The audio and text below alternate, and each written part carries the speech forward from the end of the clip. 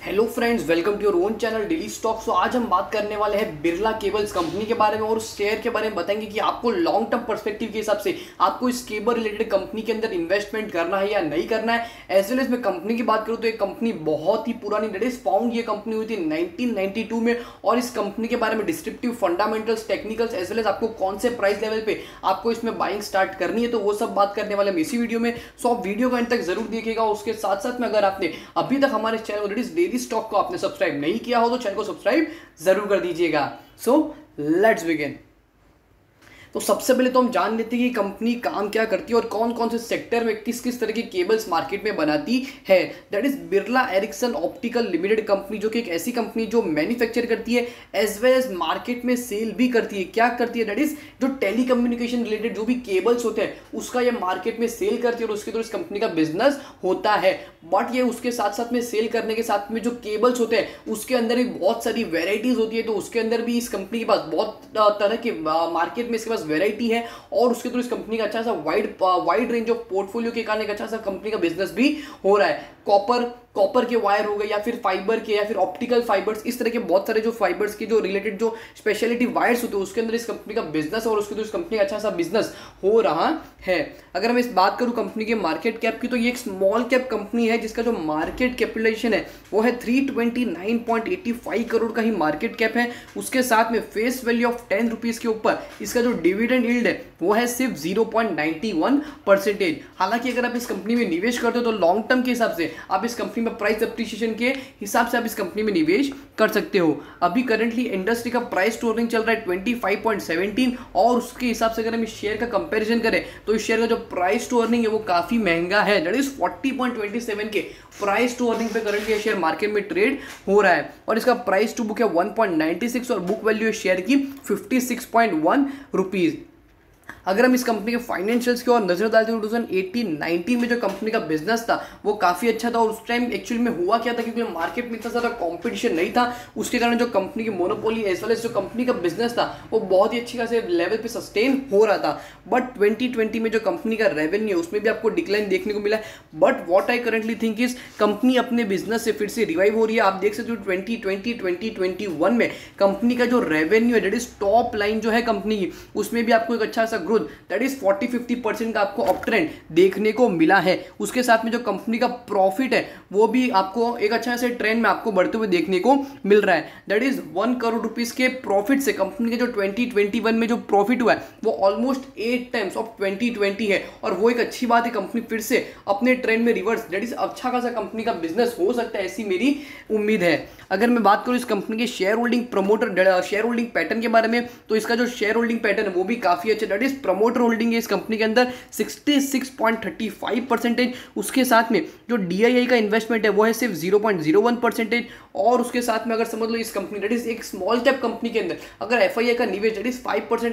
या टेन होता तो मेरे हिसाब से बहुत ही ज़्यादा पॉजिटिव सेंटिमेंट आपको इस कंपनी के लिए देखने को मिल सकता था। ऑल पब्लिक इन्वेस्टमेंट मतलब आप जैसे और मेरे जैसे जो रिटेल कैटेगरी के इन्वेस्टर्स होते हैं, उन लोगों का इस कंपनी में निवेश है thirty three point sixty three percentage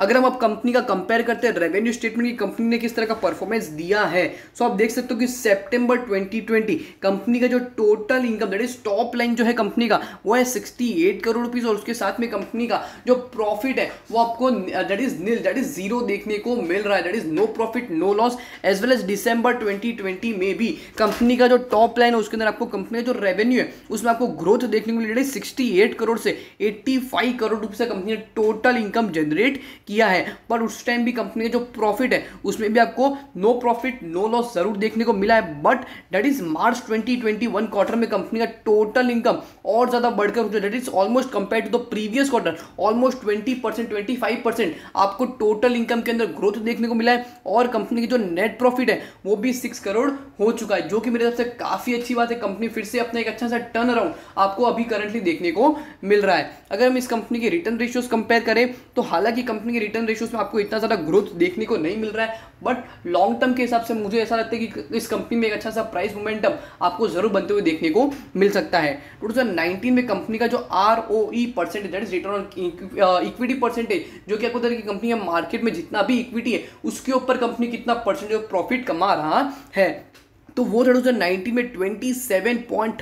percentage जो कि 2020 में गिरकर हो चुका है 0.65 परसेंटेज और इस बार फिर से बढ़कर हो चुका है 4.87 percentage R O C percentage return on capital employ जो कि कंपनी के मार्केट में जितना भी capital debt is mixture of both debt as well as equity के ऊपर कंपनी कितना परसेंटेज ऑफ़ प्रॉफिट कमा रही है। तो वो था टू में इस कंपनी का थर्टी परसेंटेज जो कि टू में गिरकर भले ही हो गया था 4.09 परसेंटेज बट 2021 में फिर से बढ़कर हो चुका 8.24 percentage return on asset percentage देखते हैं, जो कि आपको पता दें कि कंपनी के मार्केट में जितने भी एसेट्स हैं, उन एसेट के ऊपर कंपनी कितना परसेंटेज प्रॉफिट कमा रही है। तो वो भी था टू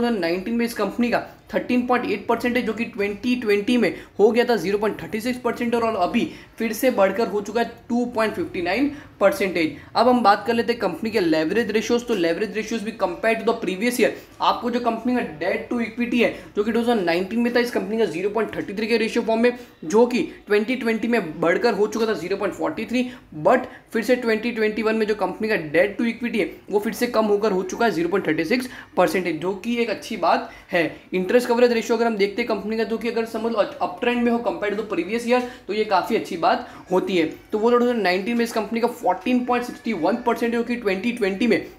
गिरकर हो चुका था वन परसेंटेज और ट्वेंटी में फिर से बढ़कर हो चुका है थ्री